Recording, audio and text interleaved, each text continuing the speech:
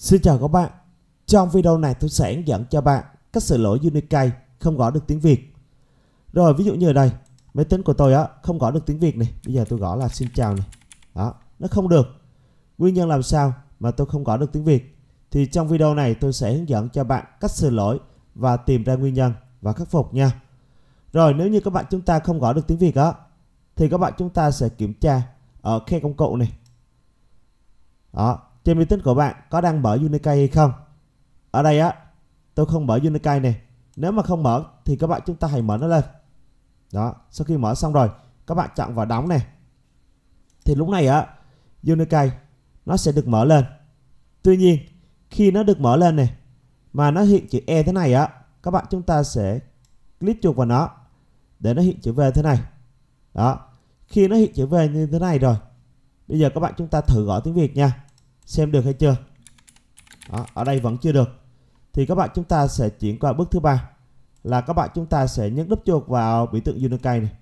Thì lúc này á nó sẽ xuất hiện hộp thoại là Unicode rồi ở bảng mã các bạn chúng ta sẽ chọn là Unicode này.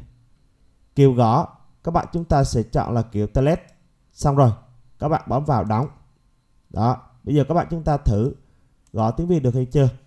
Đó bây giờ tôi thử gõ nha đó, nó đã được rồi.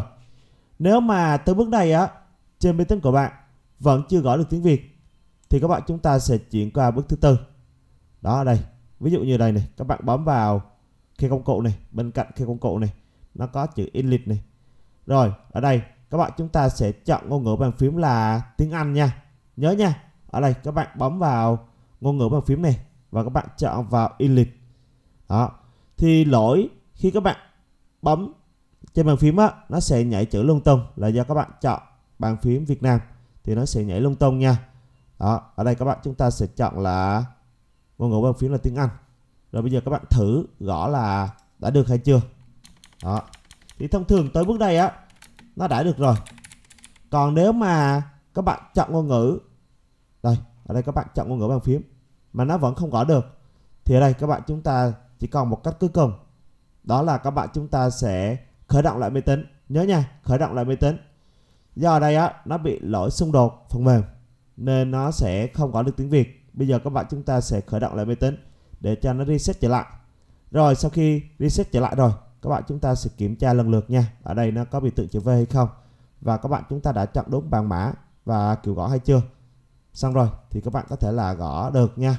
Đó, tới bước đây 100% thì chúng ta sẽ gõ được tiếng Việt trên máy tính nha đó, như vậy là trong video rồi, tôi vừa hướng dẫn cho bạn cách sửa lỗi Unicode không có được tiếng Việt. Nếu thấy video hay, hữu ích, thì bạn hãy đăng ký kênh và chia sẻ cho nhiều khác cùng xem. Cảm ơn theo dõi.